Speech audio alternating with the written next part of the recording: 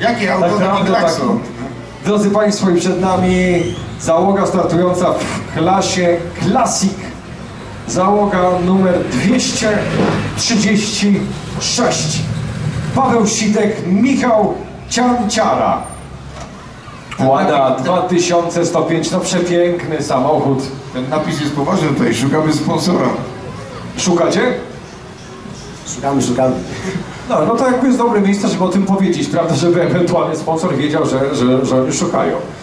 A jest trochę partnerów z nami. Powiedz mi tak, jeśli to można stracić, jaki koszt jest rzędu tej przyjemności rajd małopolski? Ile to trzeba mieć, żeby... E, zależy, czy pytasz o koszty rajdu, czy o koszty przygotowania takiego auta. Niestety przygotowanie aut klasycznych kosztuje dużo więcej niż nowych. No dobra, to sam rajd jakby, ile was kosztuje z tym samochodem? Można zdradzić? Żona słucha. Dobra, dziękujemy. Żona, że- jakby Wróć, nie kosztuje właściwie nic. Nic, Bardzo nic, nic, nic. Trzymamy kciuki, Sponsorzy trzymamy kciuki, żeby auto Dziękujemy. dojechało do mety. Ja mam, to znaczy mam coś, o, nieprawdopodobnie podobają mi się te łady. Naprawdę jakby łady lajtowe robią ogromną robotę i bardziej mi się podoba.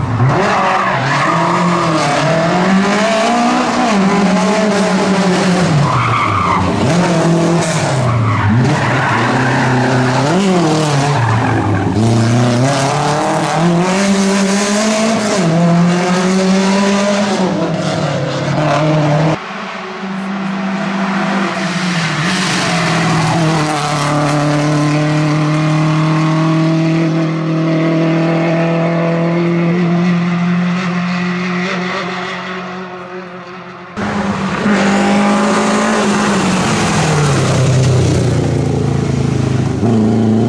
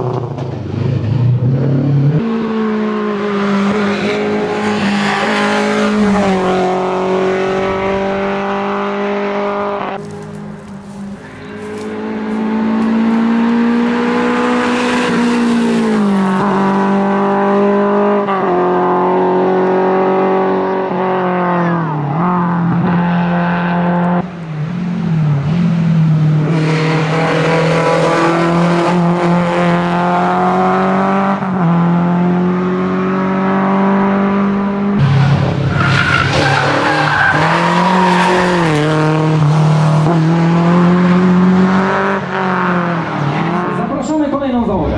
236 załoga w składzie Paweł Sitek i Michał Dziardziara. Mieliście okazję oglądać ich przejazdy, tej załogi przejazdy na trasie jechali nieprawdopodobnie szybko, bardzo widowiskowo. Naprawdę nie odpuszczali, to było spektakularna, to była spektakularna jazda. Spektakularna, ale i było też grubo, a jak jest grubo to musi być i za grubo i chciałbym, żeby się powiedział o tym. E, zawoja nas troszkę zaskoczyła. E, polecieliśmy krzaki, urwaliśmy wydech, e, pokierowaliśmy troszkę budę, ale nasz serwis się spisał i jedziemy dalej.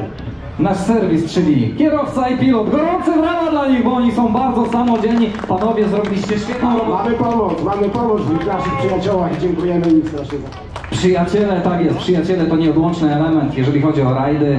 Panowie, rozrobiliście kawał świetnej roboty i mam nadzieję, że co, w przyszłym roku już jest uzależnienie i pojawicie się również tutaj. No jeżeli wszystkie znaki na niebie nam nie przeszkodzą, to będziemy. I mamy nadzieję, że tym sam, mamy nadzieję, że tylno-napędowym samochodem. Ja bym chciał, żeby Michał jeszcze coś powiedział. Tak, ja z tego miejsca chciałbym pod- podziękować e, takiej jednej osobie e, e, znanej wśród rajdowego świadka, więc jest to pan Andrzej Górski, który dwa tygodnie temu e, indywidualnie spędził z nami cały dzień i pokazał jak się opisuje trasę. Dzięki wielkie Andrzej. Pięknie. Pięknie, naprawdę należą się gorące brawa, bo to są wielkie słowa uznania. Panowie, a my wam gratulujemy, pamiętajcie o pamiątkowym foto. A my już za chwileczkę sięgniemy do polskiej motoryzacji. Ostatni, można powiedzieć, prawdziwie polski pojazd. I tutaj naprawdę nie możecie nas zawieść i żeby te brawa były takie wielkie, bo słuchajcie, już ten silnik zabrzmiał, tam już jednostka mocy została uruchomiona. Także zapalone skalo należący do załogi numer 237. Załogi w składzie